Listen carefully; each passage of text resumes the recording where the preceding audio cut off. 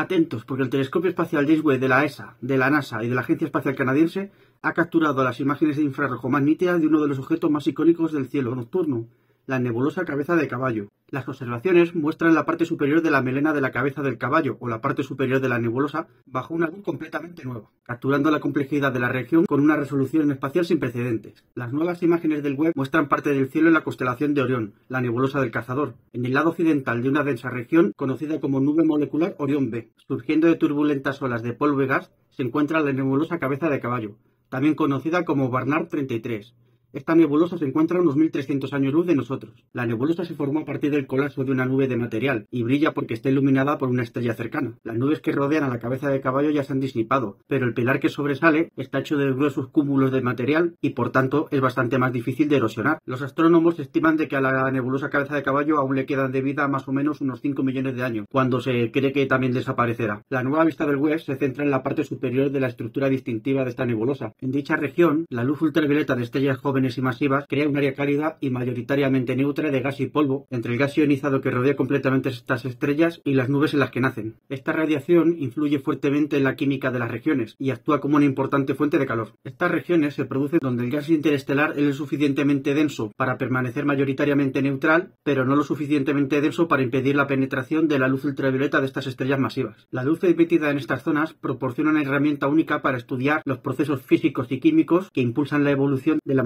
interestelar en nuestra galaxia. Debido a su proximidad y a su geometría casi de canto, la nebulosa cabeza de caballo es un objetivo ideal para que los astrónomos estudien las estructuras básicas y la evolución del gas y el polvo dentro de sus respectivos entornos y las regiones de transición entre ellos. Se considera una de las mejores regiones del cielo para estudiar la interacción entre la radiación y la materia interestelar. Gracias a los instrumentos MIRI y NIRCAN del telescopio espacial James Webb, los astrónomos han podido estudiar por primera vez las estructuras a pequeña escala del borde de esta nebulosa. A medida que la luz ultravioleta evapora la nube de polvo, las partículas de polvo son arrastradas junto con el gas calentado fuera de la nube. Webb ha detectado una serie de rasgos que rastrean este movimiento. Las observaciones también han permitido a los astrónomos investigar cómo el polvo bloquea y emite luz y comprender mejor la forma multidimensional de la nebulosa. A continuación, los astrónomos pretenden estudiar los datos espectroscópicos obtenidos para obtener información sobre la evolución de las propiedades físicas y químicas del material observado a través de la nebulosa. Si te ha gustado el vídeo, dale un buen like, activa la campanita para no perderte ningún vídeo mío